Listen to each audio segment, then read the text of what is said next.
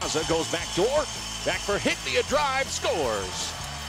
Higbee able to wire it home from the top of the wide side's near side corner. Stick handling, Raza goes back door. Back for Higbee, a drive, scores.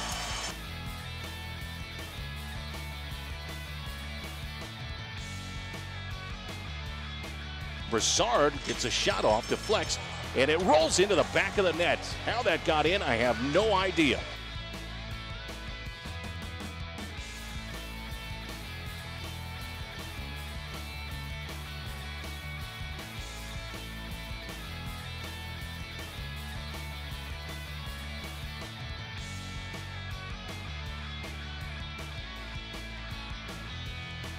Against Utah last weekend. Zabotel drops it off. Garbowski with it up high. Register Wise fires it back door. Score! Deflected in by Casey Pierro-Zabotel. On the right wing side, cuts in, drop pass, shot, bootlet, score! Shot blocked, never got through, and now a foot race back two on one. Here comes Utah. Bradford lost an edge, goes down.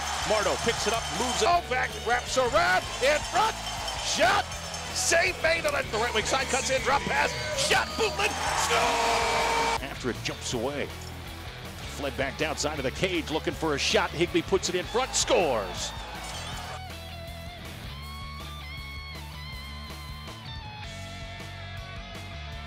To the near side, set ahead, grab Bradford, up for Brassard, shot it down and into the empty net.